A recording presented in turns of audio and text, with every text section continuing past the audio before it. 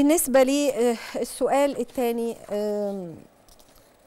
سائلة بتقول كنت آه، سائل معذرة بيقول سمعت من أحد الشيوخ إن في حاجة آه، اسمها اللطيفة يعني إن هو يقعد يردد 444 مرة بذكر يا لطيف لتحقيق طلب ما أو لدعاء ما يا ترى ده صحيح ولا لأ؟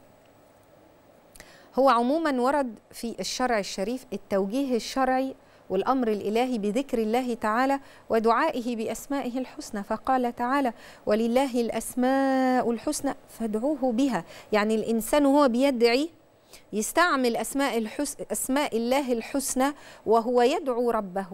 فيستحب للإنسان إن يدعو بذلك فيقول يا رحمن ارحمني.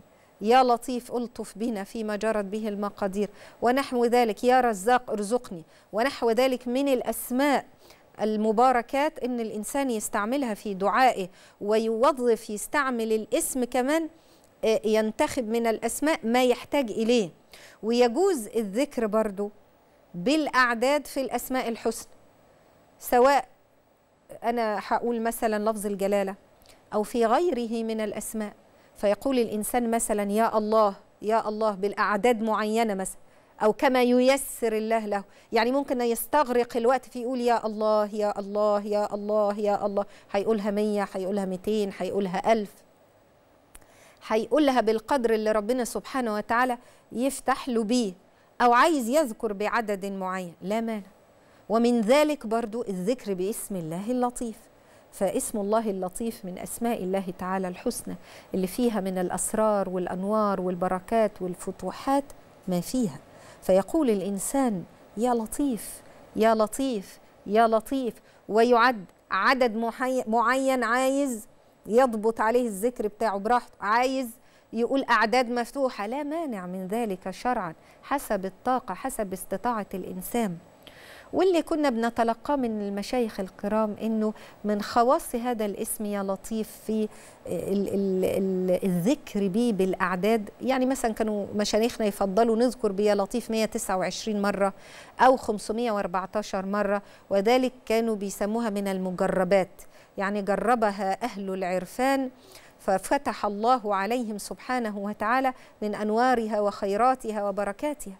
وقد قال بجواز العلم بالمجربات ال- العلم والعمل بالمجربات مجموعة من العلماء الكرام ومنهم الشيخ ابن تيمية الحنبلي وغيره بناء بناء على ما فعله الصحابي الكريم من الرقية بسورة الفاتحة فحصل ببركتها الشفاء. وذلك ده حصل مع إنه النبي عليه الصلاة والسلام لم يعلمه أن يرقي بها لكن فتح عليه ربنا اداله هذا ال- الفتح. وقلده بعد ذلك من قلده من أهل العلم والمسلمين. وبننبه على شيء ضروري إنه آه، في الذكر في كل أحوالك مع الله لابد من كمال التوجه بالقلب وصدق التوكل عليه. لإن إن الأمر كله لله. توجه القلب بإخلاص لمن بيده ملكوت السماوات والأرض. ويتوجه القلب إلى الرب سبحانه وتعالى سائلا الله سبحانه وتعالى وحده إنه يصرف السوء وإنه يكشف السوء وإنه يأتي للإنسان بالخير بالذي هو خير له فيسأله من خير الدنيا والآخرة. يتوسل في ذلك بأسماء الله الحسنى وصفاته العلى وكل ما تصاحب الذكر بالأسماء بيفتح لك بيفتح لك أبواب بتوفق فيها كيف تذكر الله تعالى بأسمائه الحسنى وصفاته العلى.